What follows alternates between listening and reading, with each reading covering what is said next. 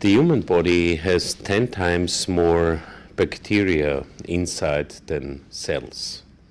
So this has a meaning, I assume, because we have so many, and there are good and bad ones. Can you a little bit elaborate what microbiota is? Well, indeed, as you said, Ferdinand, we have a lot of bacteria in our intestines which are not there just to be there, but are to play a role. And the role of the bacteria is very, very important. And more and more research is showing how relevant this is not only for the immediate newborn period, but for later in life health in general as well. The development of the bacteria in the bowel starts just at the time of delivery, and it has been shown that it's different if the baby is born vaginally than is born by cesarean section. So from that moment on, and then in addition with the type of feeding, whether the baby's breastfed or not breastfed, that will also have an impact on the development of the bacterial flora. Now, when we are talking bacteria, normally we're thinking about disease. You know, have bad bacteria, you have diarrhea or other disease. Are there good bacteria which prevent from disease or which you can use to cure from this from disease?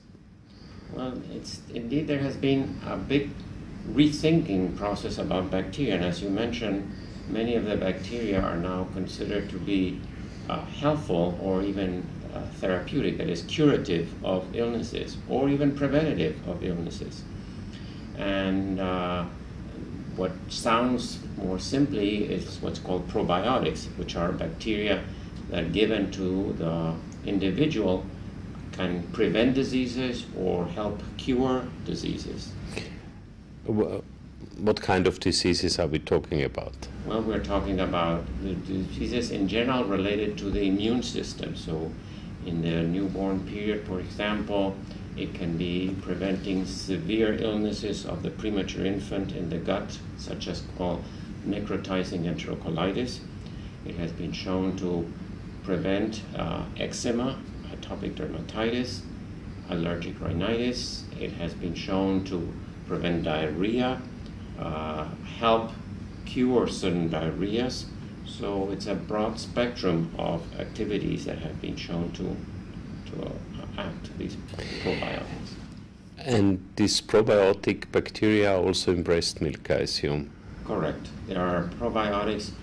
Actually, uh, the theory that the baby was not exposed to any bacteria until the moment of birth has been changed now because it is known that the baby can be affected by probiotics given to the mother and also by probiotics after birth that are eliminated in breast milk itself. So they are there even uh, from the, we are exposed to bacteria even in utero.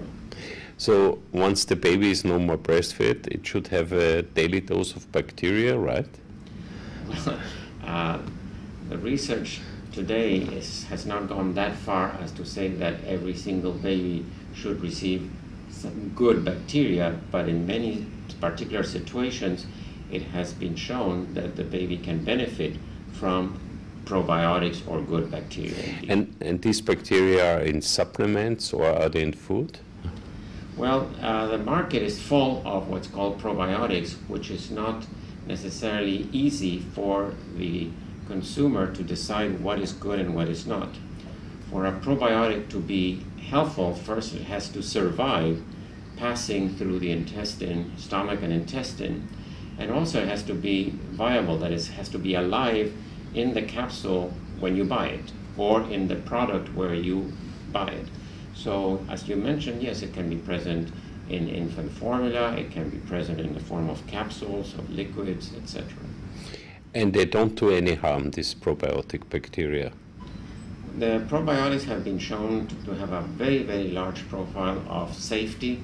There are several studies uh, given to very, very premature babies where there have been no complications from receiving the probiotics, and on the contrary, they have had a lot of benefits by preventing very, very severe illnesses. So, eat good bacteria, stay healthy is something which is uh, um, advisable and uh, well, I take them sometimes. Uh, I think that uh, for very specific uh, conditions today, there are very clear uses for these probiotics.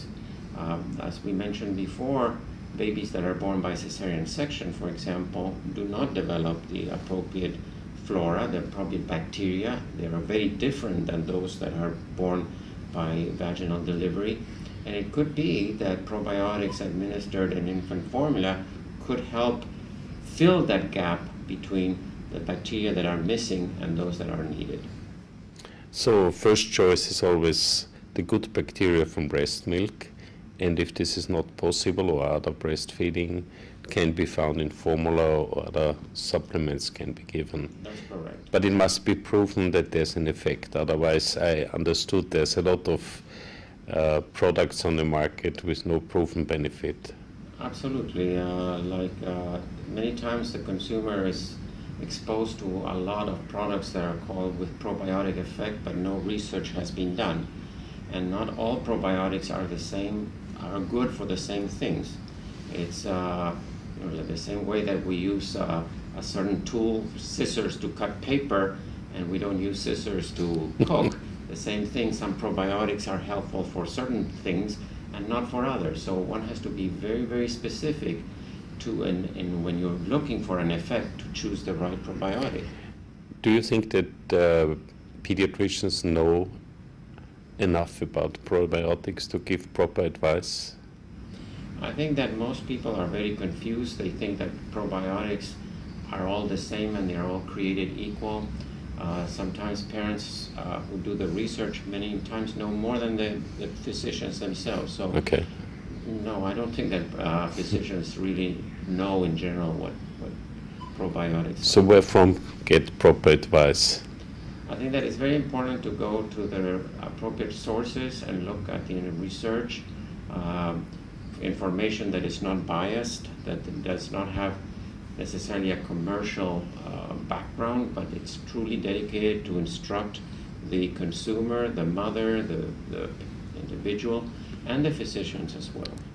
And the medical profession can look to the Nestle Nutrition Institute website, which has a big section on probiotics. Yes, I have uh, looked at that myself, and I think that there is a lot of unbiased information there. And uh, I have myself been fascinated by the abundance of literature that is coming daily on probiotics and the multiple effects that have at every single level. Okay, thank you very much.